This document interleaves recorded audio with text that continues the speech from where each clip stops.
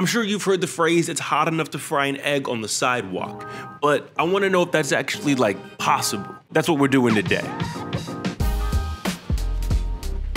First, we gotta get some eggs. See, what we're looking for is a heat conducting surface, something that will make our eggs sunny side up and not just a mess on the sidewalk. Concrete, what most sidewalks are made out of, won't get nearly hot enough for us to cook our egg. But brick? Now we might have a chance with brick. Also, I need some tinfoil. I have an idea, trust me. In order to cook our eggs, we needed it to be over 95 degrees Fahrenheit. So here we have two eggs. One is in tinfoil, so hopefully it cooks a little faster, and the other one is braving the heat of the brick itself. I also did a time lapse for about 20 minutes, so let's see how they do.